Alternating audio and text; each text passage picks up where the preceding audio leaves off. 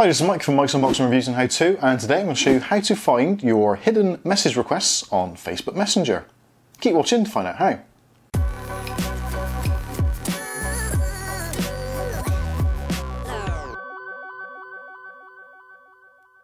Okay, on today's video we're going to be looking at how to find your hidden message requests on both Android, iOS and on PC.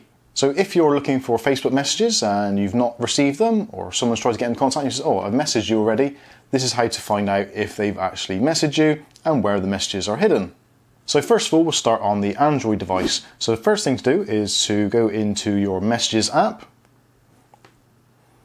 And the first screen that comes up generally is your chat screen. So what you need to do is to click on the people button at the bottom, which looks like a silhouette of two people. And then at the top of the screen, click on the silhouette of a single person with a plus sign.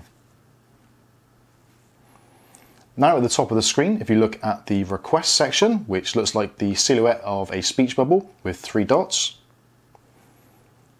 and now you'll find your message requests. So you've got it broken down into two sections, so people you may know, and also section which if you swipe across will show you the potentially spam ones. So as you can see, I've got four messages in the spam section and I've got one in the people you may know section. So that's the Android version done. So now we're going to go ahead and do the same thing on the iOS version. Now this is iOS version 13.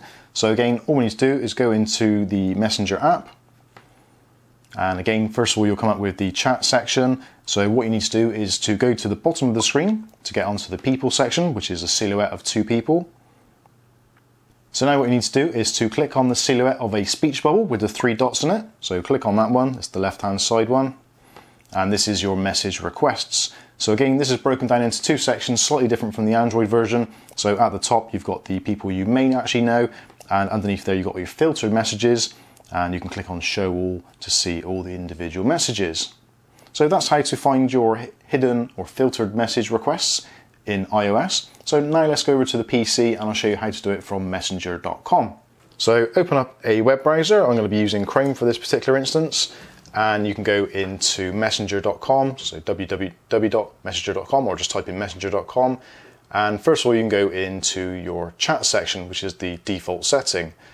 So in the top right hand corner, sorry, top left hand corner, there's the settings cog. So click on the settings cog, and then you can go down to message requests. Clicking on message requests, again, it brings you up people that you may potentially know. And then underneath, you've got filtered messages. So these again could be spam messages. So click on there and it'll show you your filtered ones. So there's how to do it from messenger.com.